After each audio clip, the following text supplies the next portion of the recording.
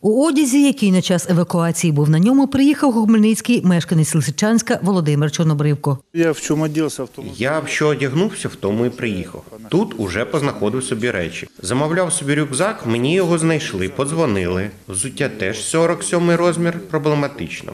Володимир каже, мешкає у волонтерів, зареєструвався офіційно і шукає роботу. я работал. Працював на желатиновому заводі Лисичанська. Тут таких спеціальностей немає, то роботу ще не знайшов.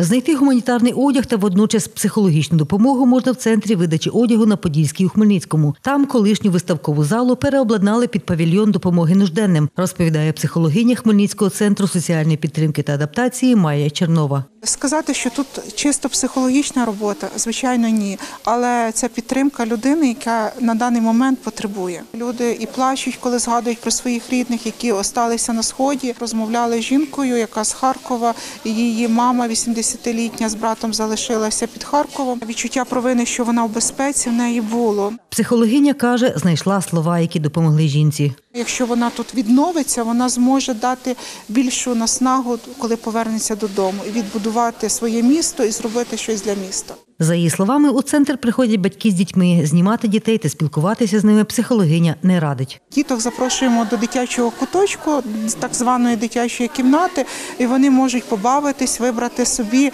якусь іграшку. Оцей блиск в очах, якась гармонія, вона надихає тебе. І, скажімо, якщо ти тут фізично втомився, ти зразу окриляєшся після спілкування з дітками.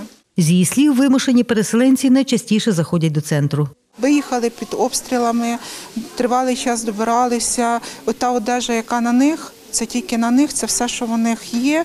І від цього стає і страшно, і сумно. Ти переймаєшся їхнім болем. Крім вимушених переселенців, скористатися безкоштовною допомогою в центрі можуть і місцеві, каже директор Хмельницького центру соціальної підтримки та адаптації Олександр Парацій. За його словами, колишній виставковий павільйон на Подільській Хмельницького щодня відвідує близько 400 людей. Загальна кількість громадян, котрі відвідали центр видачі одягу, складає вже більше тисячі осіб. Соціальна група людей, які приходять до нас, абсолютно різна. Це і соціально незахищені верстви населення, малозабезпечені, це пенсіонери, це особи з інвалідністю і внутрішньо переміщені особи. Необхідно пройти реєстрацію і мати при собі документ, що посвідчує особу. Гуманітарну допомогу, яка надходить з Хмельницького, України та за кордону, щодня розбирають і сортують волонтерки. Лілія Яремчук каже, щодня по обіді працює в центрі. Ми сюди приходимо кожного дня, і ми тут перебираємо речі, даємо нашим людям, які виносимо в зал, розвішуємо на